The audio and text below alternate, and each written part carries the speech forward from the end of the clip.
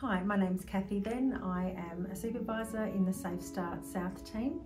My job involves uh, managing a team of workers and we work to support families uh, where there's vulnerabilities uh, for children. I've been a social worker for 23 years now. Um, I've had experience working in lots of different fields in social work. I've worked in drug and alcohol, child protection, um, I've worked in the criminal justice area. Um, I've worked in the UK as well as Australia. I've been with the Department of Human Services in the Safer Family Services division for the last three years. I decided to become a social worker because I have a really strong sense of social justice and I feel really passionate about supporting vulnerable people, communities, families and children.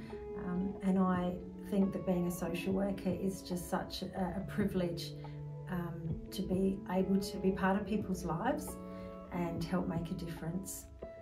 It is just rewarding full stop just doing this job. I love being a social worker and I love all that it means. I think that being a social worker is an incredibly empowering and liberating profession because we get the chance to um, work really closely with people who have been through a lot and I think it's an amazing profession to be in.